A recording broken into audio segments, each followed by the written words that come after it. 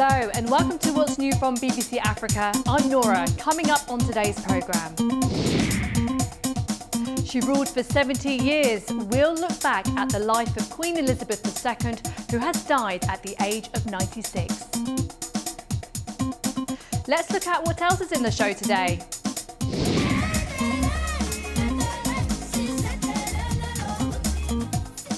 We'll be hitting the high notes with a teen superstar from Zimbabwe who's making famous friends. They just told me today we're going to the studio and record to Hambo. We recorded. Uh, I was doing rehearsals and he recorded the song. And we'll find out why Nigeria is banning all foreign models from adverts in the country. So I believe that Nigerians will be able to portray it because they have this um, similarity between them compared to international models.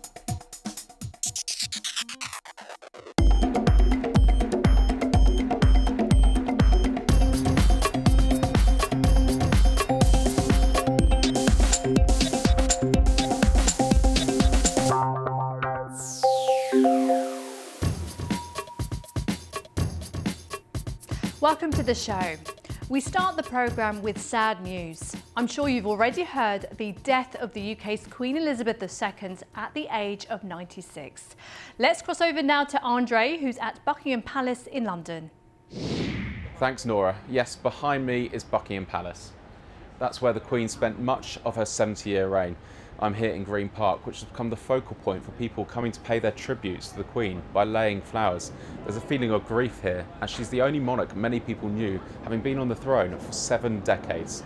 She visited more than 20 African countries during her reign, which saw many nations gain their independence from Britain. Elizabeth was actually in Kenya when she found out that her father had died, making her queen. We've spoken to young people here to find out why they've come down to pay their respects. I think of the atmosphere down here that people really, really loved her so bad because there's flowers piling up on trees, flowers piling up on each other. There's just everywhere there's flowers. It feels almost like losing a national mother um, because the head of the nation is gone. You can just feel the love that everyone has for her. Yeah. There's been tributes from African leaders as well. Nigeria's President Muhammadu Buhari called her reign unique and wonderful. A funeral has taken place in Westminster Abbey. That's about a mile in that direction, with leaders from all over the world present. A funeral service has been held for Queen Elizabeth II.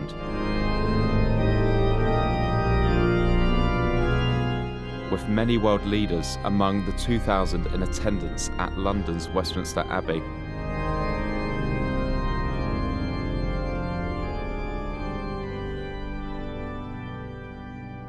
Her late Majesty famously declared on a 21st birthday broadcast that her whole life would be dedicated to serving the nation and Commonwealth.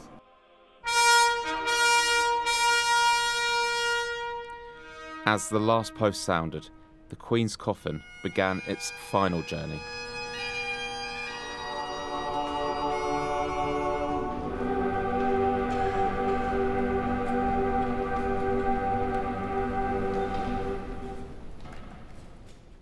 London went silent for two minutes in tribute.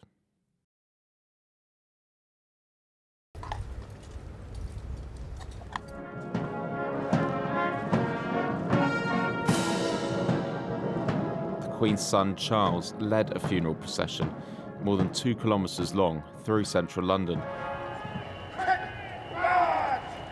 before the journey continued in the state hearse. Crowds applauded and threw flowers along the route.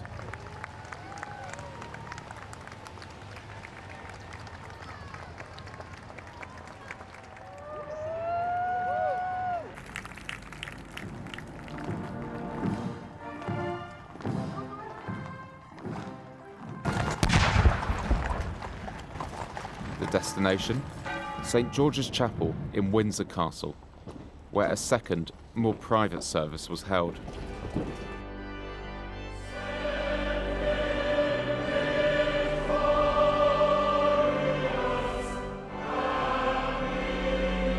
The Queen was separated from the crown jewels for a final time.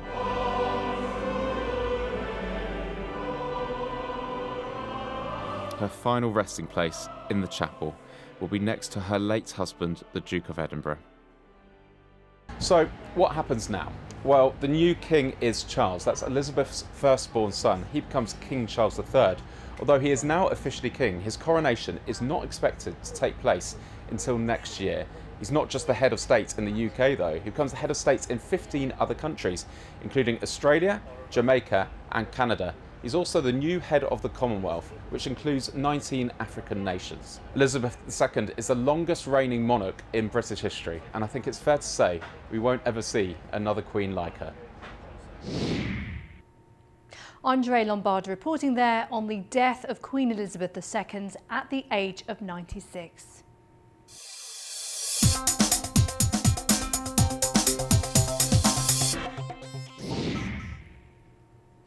Now, have you ever been punished for being badly behaved? I know I have. Well, it's probably the best thing that's ever happened to 13-year-old Andrea Sibanda from Victoria Falls in Zimbabwe. He was made to sing in church as a penalty for misbehaving, but his amazing vocals went viral on TikTok after being filmed by a congregation member. And now he's even collaborating with stars such as South Africa's Aubrey Qwana. Let's go meet him.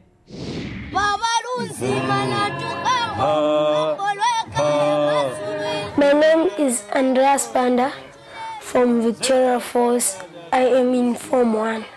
I'm 13 years old. It was a punishment on church when they say stand up and sing. Sasise church. We were at the church, and my friends and I went to the toilet. While we were there, we decided to pick some wild fruits around the area. And when we came back to the church, I was asked to sing a song as punishment for being naughty. I stood up to sing and someone recorded me and posted the video on TikTok. Then I later heard that Aubrey is looking for me. And from there, I don't know what happened. They just told me today we're going to the studio and record to Hambo. We recorded. Uh, I was doing rehearsals and we recorded the song. I'll be just saying, Father, the journey is hard, the journey that goes to heaven. Things that excited me, flying, living in a hotel, yeah, having journeys, yeah, it was wonderful. There are many people who came up to do a collaboration with me. DJ Maphorisa. Sometimes I feel like it's a shock. It's about seven months or eight months now, but it's famous because many artists they try, they struggle to get where Andrea is. My father and my mom, they can sing.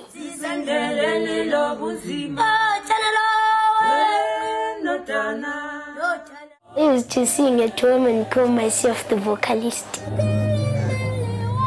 I'm in choir and I'm uh, in practicals. I'm doing music. Balancing school and music. I do this when it's holidays. Uh, it's when I record and do shows. But when it's time for school, it's time for school.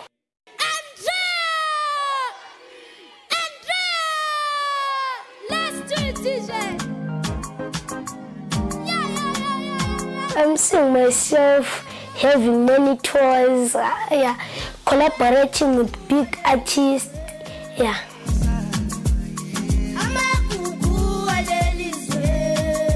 Can say. He's now back. He's back from South Africa.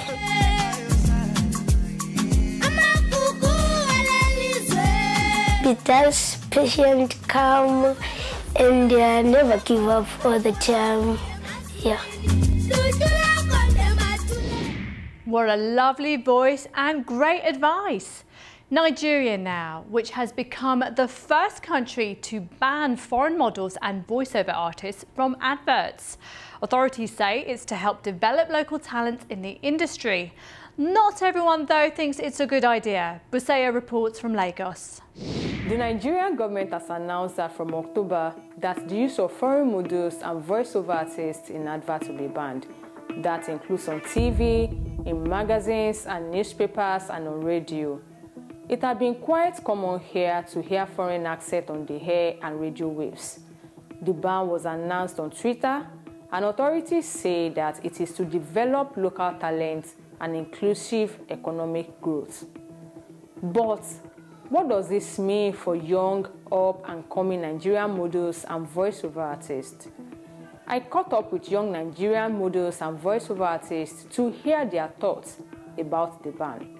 My name is Gift Odulesi and um, I started modeling for Beth Model this year, depending on type of adverts because some advertisements are better conveyed by Nigerians because of course the advertisements are directed to Nigerians. So I believe that Nigerians will be able to portray it because they have this um, similarity between them compared to international models because we understand ourselves more. So um, I'm in support of it and it also creates more job opportunities for models that are just starting my name is Abimbola Adelakun. I'm a voiceover artist. Most people already want people that are American. They want someone with that kind of accent. They believe that we cannot do it as well as those people already, maybe Americans, Australians. So me as a Nigerian saying I can do it like them is never good enough for them. So I see this ban as a way for young voiceover artists, for young people in the country to know that, okay, the country is actually thinking about them. My name is Enilomaya Tomiwa Bamidele.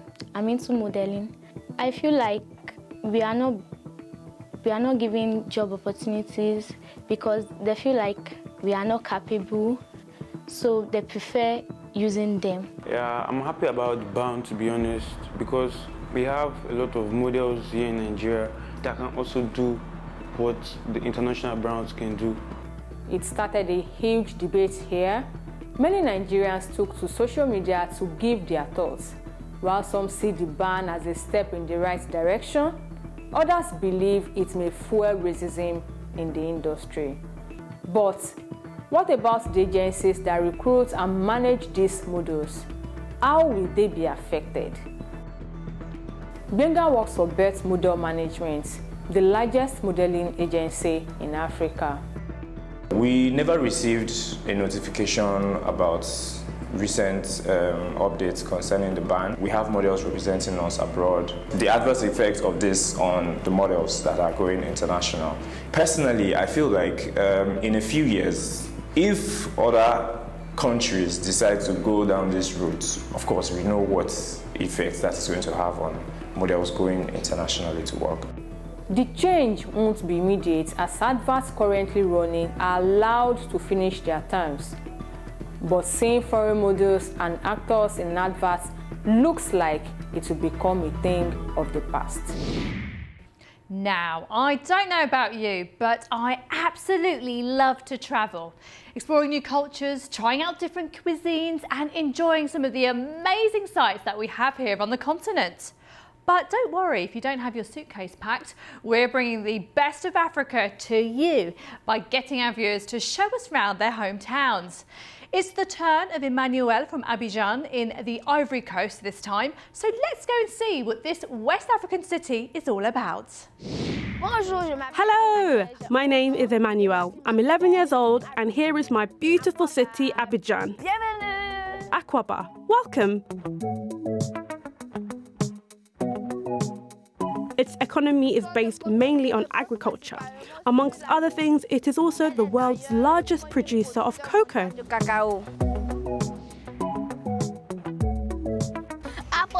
Now I'm going to show you one of the most beautiful views in Abidjan. Here is the Ébrié Lagoon. It bears the name of the very first residents of the Ivory Coast. Uh, um, Abidjan was a little village inhabited by Tchaman, also known as Atchan. Today they are better known by the name Ébrié. But that was before. Today the little village has become a large city with modern infrastructure. Grande ville avec des infrastructures modernes. Here is the Henri Konan Bédié Bridge. It is magnificent. The state is working on making other bridges to allow vehicles to move about faster because there's a lot of traffic jams in Abidjan. Now I'm going to show you one of my favourite places in Abidjan. We will cross the lagoon to get there. Follow me!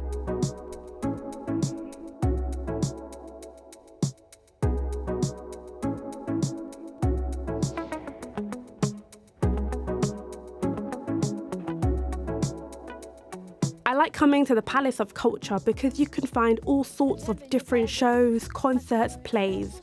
Personally, I really like music.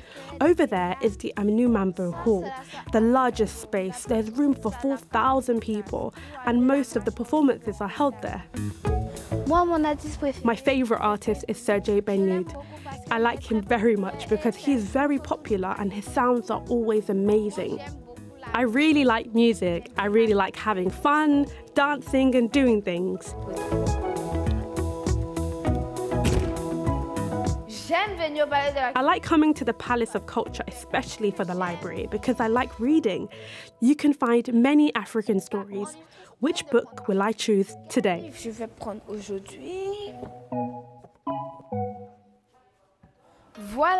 There, I've chosen. I'm going to sit down to read these lovely African books, which I've taken. There you have Bamba, the little photographer. Bamba.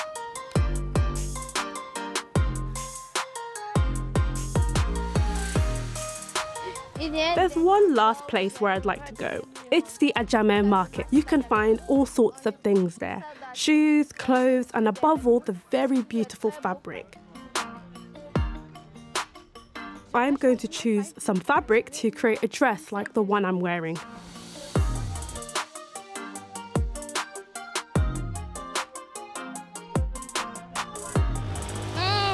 Mm, I'm starting to get hungry. I'm going to eat here. We are at Alokodrome. Alokodrome is a popular restaurant where you can find all sorts of Ivorian food. So I'd like the aloko, fish, and the attiéké.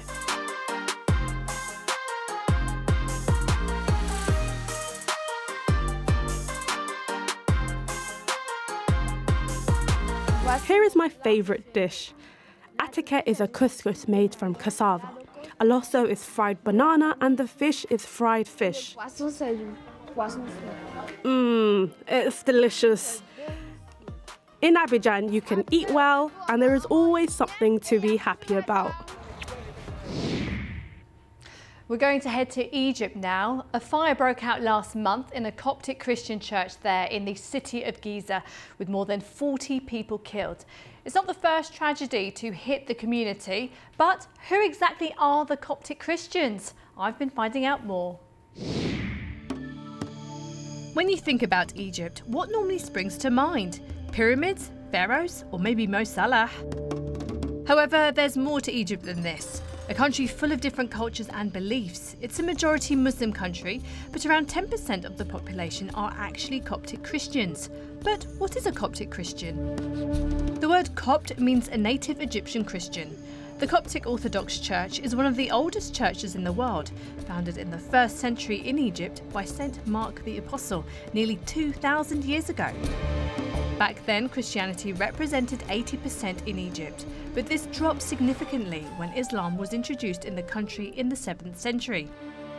Coptic Christians form the largest Christian minority in the Middle East and most live in Egypt.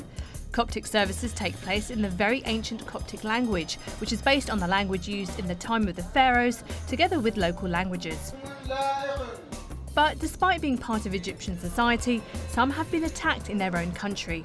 The relationship with our you know, Muslim sisters and brothers is predominantly very good. They're people who you know, will share neighborhoods and, and, and will work together and go to schools and colleges together. But what has tainted that over the past decades in particular is a fundamentalism that doesn't just target Christians, it targets Muslims who are not of the same radical nature. And what that does is it polarizes the community. Of course, when you throw in poverty and illiteracy into the mix, it makes for, for an explosive situation. According to the EIPR, there's been at least 36 cases of violent attacks against Coptic Christian communities between 2016 and 2019. Most of this violence has been blamed on the so called Islamic State. Despite this, there is hope in the next generation for a better future. I think we have a great wealth in our young people. We've got dynamic youth ministry, we have dynamic young people. It, it's really wonderful to behold, and it's a blessing to experience. And so I think in that context, in that context, I'm really hopeful that our young people, who I don't just see as the future of our church or our world, I see them as also the present. And having that continuity of more experienced senior people contributing to the development and mentorship of younger people who then take that experience and live it in their own way as they move forward. The Coptic Church has expanded worldwide during the last 40 years and now has a million members outside Egypt. And finally, imagine using virtual reality gaming to learn about African history. That sounds pretty fun. One team of Ethiopian software engineers have created an immersive experience on the Battle of Adwa, which is when Ethiopia defeated Italian colonizers in 1896. They hope to use the technology to teach young people about the African culture and heroes they should know about and embrace. Sherry Han has more. You're looking at scenes from the Battle of Adwa, where Ethiopians defeated Italian colonizers in 1896, which you can now experience through virtual reality.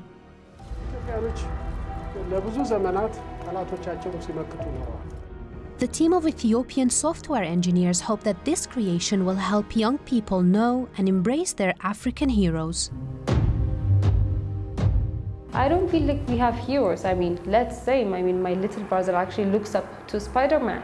He doesn't want to wear the Adwa people's costume. He wants to buy the Spider-Man suits and wear it. I'm not saying that there is something wrong in it, but it's, it shows the lack of uh, knowledge within our history. We are trying to do here at Guzo Technologies. We've actually put the entire scene, the scenario, and the landscape in the virtual reality. So you get to experience, you get to be in the battlefield. We've actually had a lot of battles, a lot of wars to actually sustain our sovereignty, and we have to actually give that to the generation to come. They should know where they're coming from.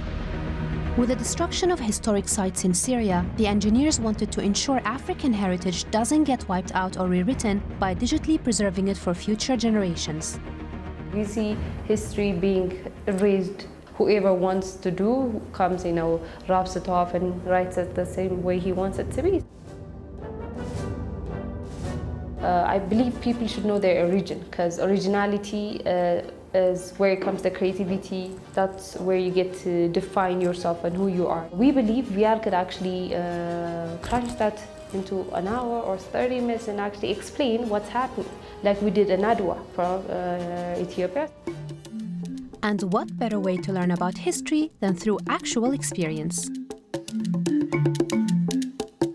If I had known uh, the heroes the way I'm supposed to know them, I would actually fall in love with them. How do I know my, my heroes if my, if my history class is boring? How would I know my heroes if they're not presented the way they should be presented? We want to know about ourselves, we want to be our heroes, we want to actually give it to the generation to come and for them to actually find their heroes within their continent. That's all from the BBC What's New team this week. See you next time. Goodbye.